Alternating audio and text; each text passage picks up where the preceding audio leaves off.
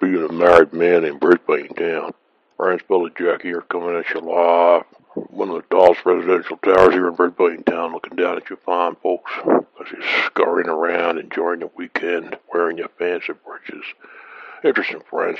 You ever hear the old joke made by married men and you ask them a question about something like would you like to come down to the bar and join me and my, my friends here? Would you like to join us for a trip? Would you like to come to a brothel with us? Or other questions. And they always have to say, sorry, I'll have to ask the boss. And what they're talking about ain't their boss at work, because many of these guys are bosses themselves. What they're talking about is their wife. It's true. I know it's sad, but it's true, friends.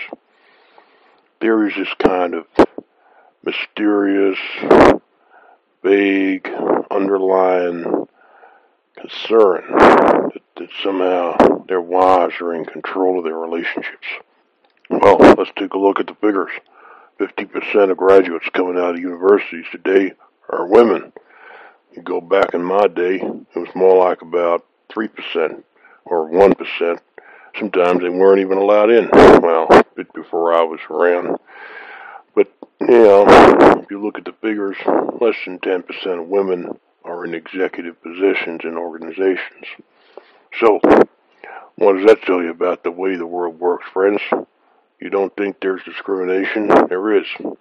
But let's talk about the married life now. Because in the married life, let's face it, if you've got some friend who wants to get married today in Brisbane Town, Australia, I don't care if he's found the woman of his dreams. I don't care if he's found the woman of his dreams in the Philippine Islands and she's 25 years old and looking good, at least as far as he's concerned. Not that he knows that she's already got three kids and's got a sag of titties like a hooker.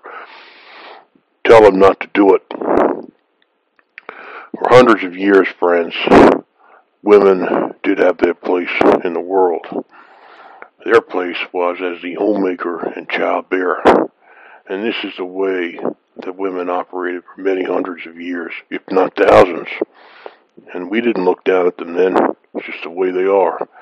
Childbearing and raising children for the next generations is actually probably the most important job anyone in the world can have. After all, uh, we were all children once. So I don't understand why people are looking down at this. What I do know is this, friends.